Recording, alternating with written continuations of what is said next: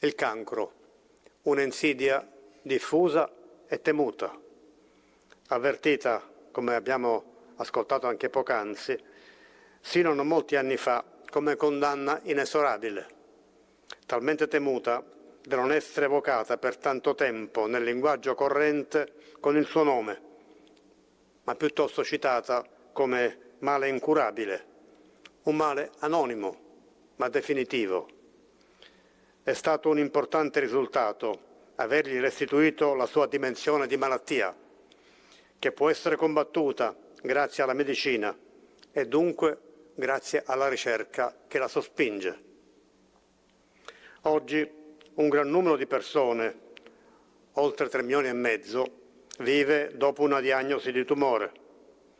Molte di loro possono considerarsi guarite. Tante combattono contro la malattia con buone prospettive di successo. Le condizioni di numerosi malati sono migliorate, consentendo relazioni positive e partecipazione alla vita familiare e della società. Un grande beneficio per tutti, anche per coloro che presumono di essere indifferenti.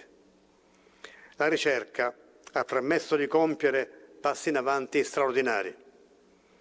Grazie alla ricerca, grazie all'immuno-oncologia e alle terapie mirate, è cambiata la storia della lotta a molti tumori.